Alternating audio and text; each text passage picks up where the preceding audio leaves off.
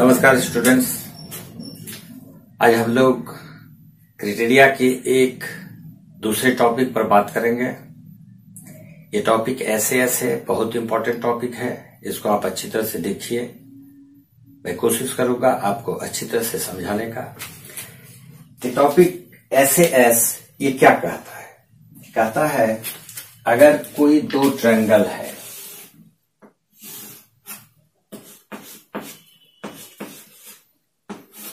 एक triangle ABC है और एक triangle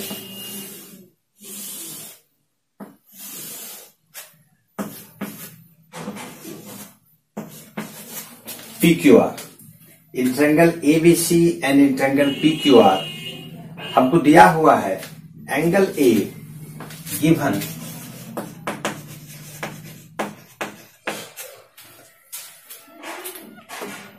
Angle A is equal to angle P angle A is equal to angle P and the ratio of side A B and P Q A B by P Q is equal to A C by P R A C by P R ये हमको दिया हुआ है। हमको साबित क्या करना है? टू प्रूव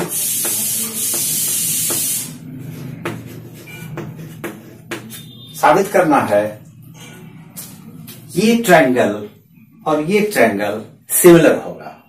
या हम ये कह सकते हैं कि इसका बाकी दोनों एंगल्स इक्वल होगा। यानी angle P angle P is equal to angle Q और angle C is equal to angle R हो जाए। तो प्रूव करना है angle A is equal to angle P ये तो गिवन ही है। Angle B is equal to angle Q and angle C is equal to angle R और इसको हम ये भी कह सकते हैं कि ये ट्रैंगल और ये ट्रैंगल हमको सिमिलर करना है। तो चलिए देखते हैं कैसे इसको प्रूव करते हैं। सबसे पहले हम लोग एक कंस्ट्रक्शन कर लेंगे। जैसा अदर क्राइटेरिया में हम लोग देखे थे कि ट्रायंगल एबीसी के साइड्स को ट्रायंगल पी क्यू आर के साइड से छोटा लेंगे। ऐसा इसलिए लेते हैं कि इसी के लेंथ का हमको यहाँ पर कट करना है। तो एबी के इक्वल पी क्यू में डी एक ऐसा पॉइंट कट किए जो A B is equal to P D हो जाए। और पी आर में ए सी के इक्वल हम कट कर लेते हैं। मान लेते हैं P D is equal to A C cut P D is equal to A B and PE is equal to AC and join join DE और DE को हम ज्वाइन कर देते हैं। ज्वाइन DE ये हमारा कंस्ट्रक्शन था। अब हम प्रूफ देखते हैं। किस तरह से इसको हम प्रूफ कर सकते हैं, इसका प्रूफ देखेंगे। तो सबसे पहले इसमें हमको साबित करना है BC डीई क्यू आर के पैरल है। सबसे पहले हम इसमें साबित करेंगे डीई क्यू आर के पैरल है। हमेशा इसलिए करेंगे क्योंकि अगर हम डीई को इसके पैरल साबित करते हैं तो इसका एंगल डी एंगल क्यू के इक्वल हो जाएगा और एंगल ई एंगल आर के इक्वल हो जाएगा। फिर हमको साबित करना है ये triangle triangle ABC triangle PDE के कॉन्ग्रुएंट है। ऐसा करके हम एंगल बी को एंगल डी के साबित करेंगे इक्वल और एंगल सी को एंगल ई के इक्वल साबित करेंगे।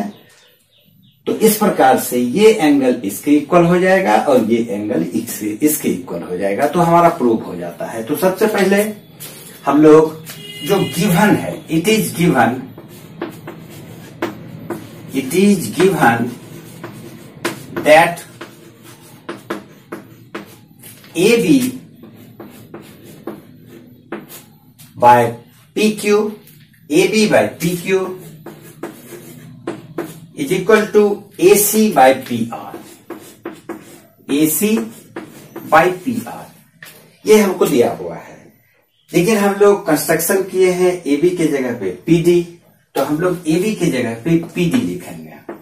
P D by P Q is equal to और ए सी पी के इक्वल है इसलिए हम लोग इसके जगह पे पीई लिखेंगे। पीई बाय पी आर अब हमारे पास आ जाता है P D by P Q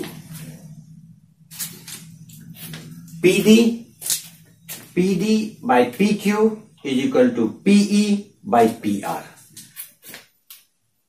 converse of theorem के मुताबिक, अगर इतना P D by D Q is equal to B PE by E R हो तो हम इसको, इस लाइन को डीई को क्यू आर के पैरेलल कर सकते हैं। तो कन्वर्स ऑफ़ थिल्स थ्योरम ये कहता है P D by D Q is equal to PE by E R लेकिन हमारे पास है P D by P Q P D by P Q और पीई बाई पी आर तो हम इसको इस तरह से कैसे कर सकते हैं? तो अगर हम इसमें ऐड कर लेंगे, जैसा हम कन्वर्स ऑफ़ थ्योरम में बताए थे कि अगर इसमें वन ऐड कर देते हैं तो हमारे पास ये आ जाता है। तो आप इसको इस स्थिति में भी डीई को पैरेलल क्यू आर कर सकते हैं और इस स्थिति में भी हम डी क्यू को डीई को क्यू आर के पैरेलल कर सकते हैं। तो हम लिखते हैं by converse of BPT by converse of BPT DE DE parallel Q R DE Q R के पैरेलल हम कर दिए proof DE is parallel to Q R अब अगर डीई क्यू आर के पैरेलल है तो हम कह सकते हैं therefore angle D is equal to angle D is equal to angle Q and angle E angle E is equal to angle R ये करस्पॉन्डिंग एंगल्स है। Since D is parallel to Q R therefore these are corresponding angles. ये corresponding angles है। अब हमको साबित करना है, ये ट्रायंगल और ये ट्रैंगल को कॉन्ग्रुएंट करना है। तो हम लोग लिखते हैं in triangle in triangle A B C and triangle PDE इस दोनों ट्रायंगल को हमको कॉन्ग्रुएंट करना है तो हम देखते हैं A B equal to P D A C is equal to PE by construction ये हम लोग कंस्ट्रक्शन किए थे, शुरू में ही इसको कंस्ट्रक्शन कर लिए थे तो हम ऐसा कर सकते हैं। उसके बाद angle A is equal to angle P angle A is equal to angle P ये गिवन है। गिवन तो by S A S side angle side से साइड एंगल साइड से हम इस दोनों ट्रैंगल को कॉन्ग्रुएट कर सकते हैं।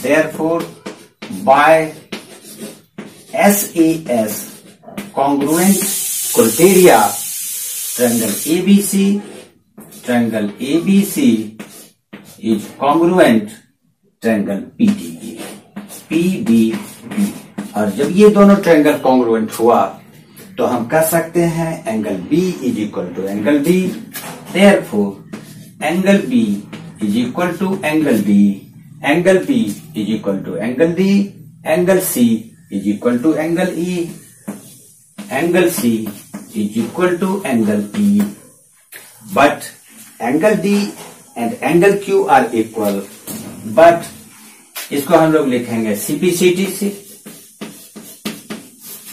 but angle D is equal to angle Q angle D is equal to angle Q angle B is equal to angle D and angle D is equal to angle Q therefore angle B is equal to angle Q therefore angle B is equal to angle Q and angle C is equal to angle E. Angle C is equal to angle E, but angle E is equal to angle R, but angle E is equal to angle R, angle C is equal to angle E, and angle E is equal to angle R. Therefore, angle C is equal to angle R. Therefore, angle C is equal to angle R. तो इस प्रकार से हम देख लिए कि B angle Q के equal C angle R के इक्वल और ए एंगल पी के इक्वल ऑलरेडी गिवन